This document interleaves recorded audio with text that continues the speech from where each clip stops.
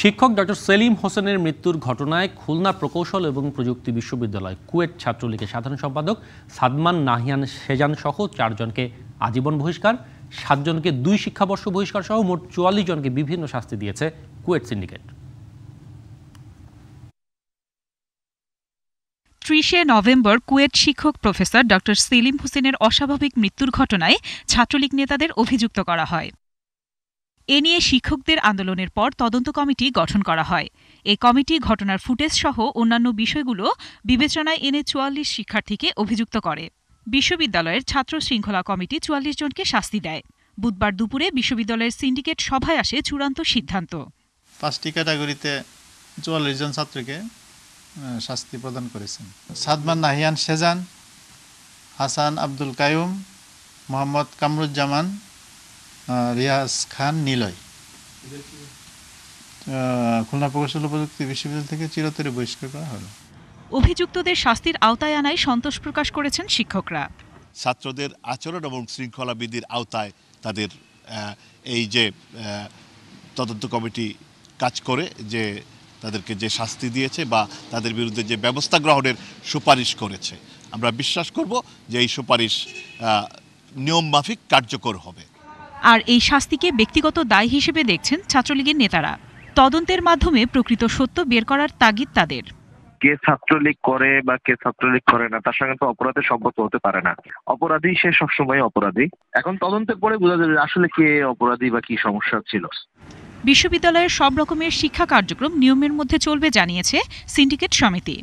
রাজনৈতিক কর্মকাণ্ডের ওপর বিভিন্ন বিধি নিষেধ আরোপ করা হয়েছে। DBC news desk. অনলাইনের মাধ্যমে খুলনা প্র- প্রকৌশল প্রযুক্তি বিশ্ববিদ্যালয়ের শিক্ষক সমিতি সাবেক সহসভাপতি অধ্যাপক ডক্টর মুস্তফা সারোয়ার আমাদের সাথে যুক্ত হচ্ছেন। ডক্টর মুস্তফা সারোয়ার, আপনাকে স্বাগত জানাচ্ছি।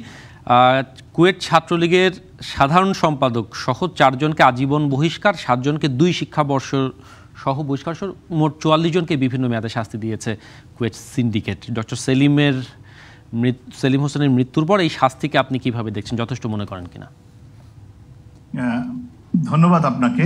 আসলে যে বিষয়টি হলো যে আমি এটাকে বলব যে, দেশে যে আইনের শাসন, বঙ্গবন্ধু কন্যা শেখ হাসিনার সরকারের যে কমিটমেন্ট আইনের প্রতি, এটি তার একটি প্রতিফলন হিসেবে আমি দেখতে চাই।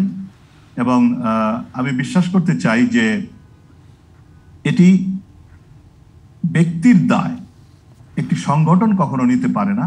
এখানে যাদেরকে শাস্তি দেওয়া হয়েছে, তাদের ব্যক্তির কৃতকর্মের জন্য। এবং এটি বঙ্গবন্ধুর যে ছাত্র সংগঠন, তার ক্ষেত্রে নতুন নয়। আমরা জানি যে মহসিন হলের সেভেন মার্ডার কেসেও তৎকালীন ছাত্রলীগের সভাপতিকেও বহিষ্কার করা হয়েছিল পার্টি থেকে। এবং তাকে পরবর্তীতে কারারুদ্ধও করা হয়েছিল, যেটা পরবর্তীতে সামরিক সরকার ছেড়ে দিয়েছিল।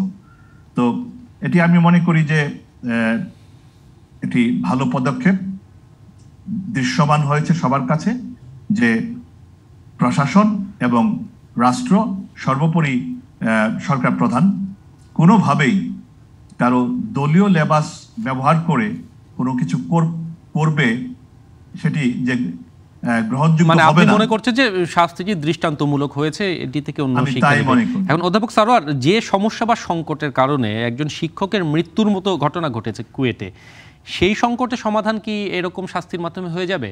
আপনি তাই মনে করেন কিনা? এখানে ব্যক্তির দায় থাকতে পারে, কিন্তু সাংগঠনিকভাবেই তো একটি ঘটনা ঘটেছে এখানে। দেখুন বিষয়টি হলো যে কুয়েট ছাত্র রাজনীতি বা কুয়েটের অবস্থানকে একটি বিচ্ছিন্ন ঘটনা হিসেবে দেখার সুযোগ নেই। এটি সামগ্রিকভাবে আমরা সেভেন্টি ওয়ানের যে রাজনীতি বা নব্বই পূর্ব সময়ের যে রাজনীতি এবং পরবর্তীতে ছাত্র রাজনীতির ভিতরে গুণগত কিছু পার্থক্য এসেছে, এটা অন্যরা স্বীকার করুক বা না করুক। তবে আমি যদি বিশ্বাস করি যে কোথাও আমাদের শুরু করতে হবে। তো এটি অলরেডি শুরু হয়েছে এবং কুয়েটে যে তার ধারাবাহিকতা প্রমাণ পাওয়া গেল, এর মাধ্যমে আমি মনে করি যে সুস্থতা ফিরে আসবে ছাত্র রাজনীতিতে। এবং এখন যেটি সবচেয়ে বেশি প্রয়োজন, এটি কার্যকর হওয়া, আমি বিশ্বাস করি।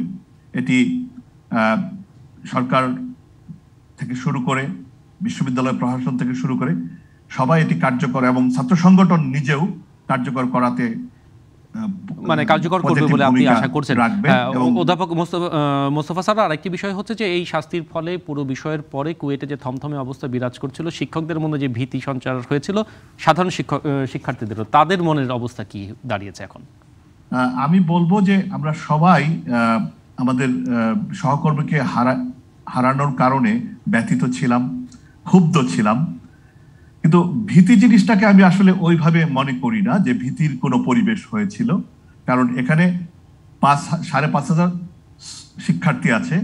তার ভিতরে ছাত্র সংগঠনের সাথে সম্পৃক্ত অনেকেই আছে। এখানে যারা এসেছিল গুটি কয়েক অভিযুক্ত বা গুটি কয়েক এটার সাথে সংশ্লিষ্ট ছিল। আর এই গুটি কয়েক শিক্ষার্থী সবাইকে জিম্মি করে ফেলবে, এটি আমি মনে করি না। সুতরাং আমি ব্যক্তিগতভাবে ভীত ছিলাম না বা আমার, আমি মনে করি না শিক্ষকরা ভীত। তবে ভীত না থাকলেও যেটি শিক্ষার সুষ্ঠু পরিবেশ ছিল না। শিক্ষার সুষ্ঠু পরিবেশ ব্যাহত হয়েছিল। এখন আমাদের সামনের দিকে এগিয়ে যেতে হবে। আমরা চাই ছাত্র শিক্ষক সুসম্পর্ক নিয়ে সুন্দর বিশ্ববিদ্যালয়ের পরিবেশ বজায় থাকুক। করোনার কারণে অলরেডি প্রায় দেড় বছরের অধিক কাল শিক্ষার্থীদের জীবন থেকে হারিয়ে গিয়েছে। এখন আমাদের সময় এসেছে সুযোগ এসেছে। সামনের দিকে এগিয়ে চলার। আর জি আর জি আমরা আমরা স্পষ্ট আপনার বক্তব্য। অসংখ্য ধন্যবাদ অধ্যাপক ডক্টর মোস্তফা সরার আমাদেরকে আমাদের সাথে যুক্ত হওয়ার জন্য মতামত রাখার জন্য। ধন্যবাদ আপনাকে।